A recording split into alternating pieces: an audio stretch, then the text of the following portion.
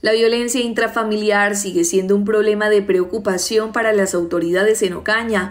En un reciente informe entregado por el comandante del segundo distrito de policía, un hombre fue capturado tras agredir físicamente a su compañera sentimental, que incluso tuvo que ser trasladada hasta el hospital para recibir atención médica.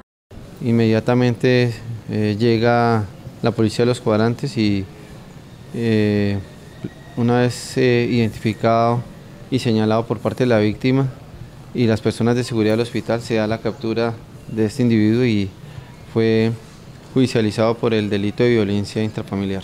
Desde la Policía Nacional se han lanzado campañas para sensibilizar a la comunidad sobre la importancia de denunciar la violencia intrafamiliar y apoyar a las víctimas.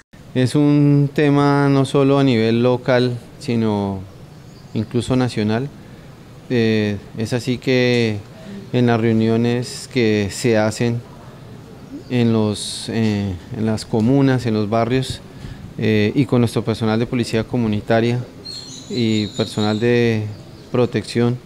Eh, hacemos énfasis de, del tema de la violencia intrafamiliar, de la prevención, de todos los mecanismos, de toda la normatividad y, y de todas las rutas que se deben activar para evitar estos hechos que lamentablemente afectan la tranquilidad y la seguridad y la convivencia de los ciudadanos de Ocaña.